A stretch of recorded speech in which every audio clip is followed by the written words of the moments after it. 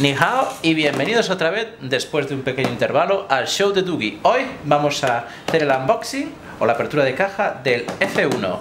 Pues aquí estamos otra vez. Como podéis ver tenemos dos cajas y no es que vaya a hacer dos unboxings, sino es para, para enseñaros, vamos a abrir las cajas aquí, que el F1 viene en dos colores, blanco y negro.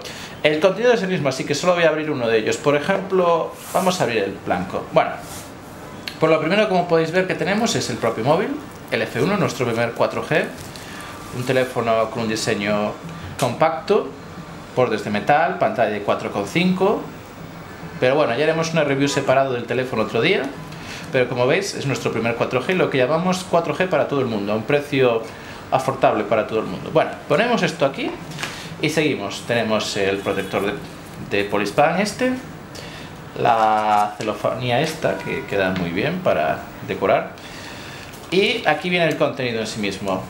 Todo en una bolsita, muy bien ordenadito. Tenemos su manual en varios idiomas y su demostración de las varias funcionalidades que trae el teléfono, como gestos rápidos, cuenta de invitado, bloqueo de acceso, el captura de pantalla rápida, etc.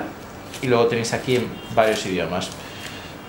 Después, ¿qué más tenemos? Tenemos sus cable USB para cargar y para datos. Ya. Tenemos sus auriculares de regalo, auriculares con gomita plana para que no se enreden y botón de manos libres, micrófono, lo cual os permite usarlo tanto para escuchar música como para llamar. Bueno, y su cargador, en este caso cargador europeo de 1 miliamperio cargador USB estándar. Y aquí en la cajita no nos olvidemos como siempre os ponemos un protector de pantalla y una gamucita limpiadora extra. Y aquí no hay nada más. Bueno pues podéis ver esto es el unboxing del F1 esto es lo que tenéis cuando os compráis nuestro 4G nuestro primer 4G y como siempre nos vemos pronto en el show de Dougie. Si os ha gustado el vídeo darnos un like.